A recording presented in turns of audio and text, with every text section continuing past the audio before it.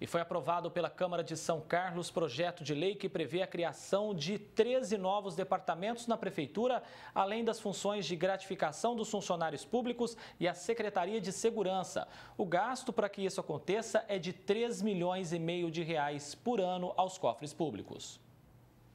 Um ambiente tranquilo, sem grande tumulto entre os 18 vereadores presentes e representantes da população e de partidos políticos.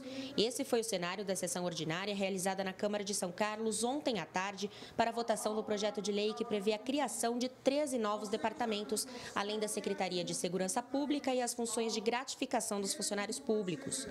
Para este vereador, a proposta é um benefício para o município. Eu entendo o seguinte, que esse projeto ele tem uma importância, porque nós estamos analisando nesse momento apenas as despesas. Mas esse projeto, por outro lado, ele pode trazer receitas importantes para o município. Por exemplo, no, no meio ambiente, nós temos o Fundo Verde e Azul, que pode captar recurso externo. Então, uma série de coisas que eu acho que traz resultados positivos sim para o município. O que foi julgada como uma proposta válida pela maioria levantou uma outra questão.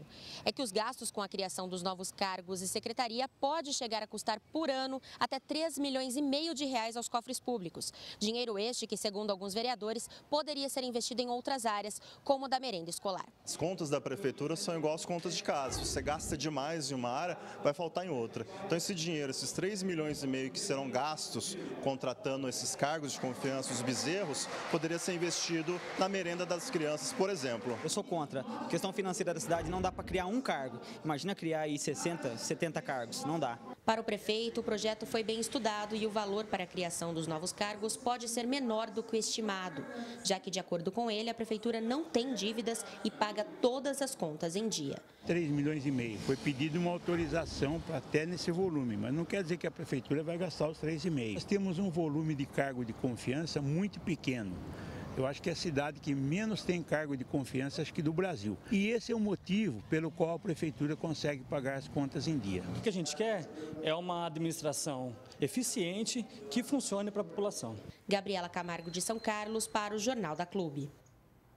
Confira agora como cada vereador votou nesse projeto que prevê a criação de novos cargos na Prefeitura de São Carlos.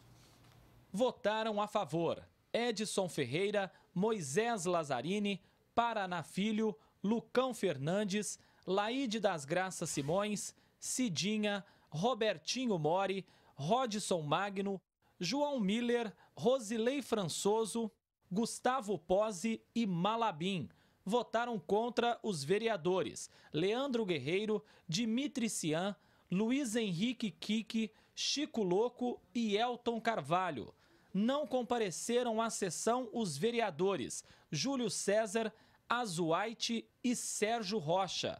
Marquinho Amaral não pôde votar porque foi o presidente da sessão.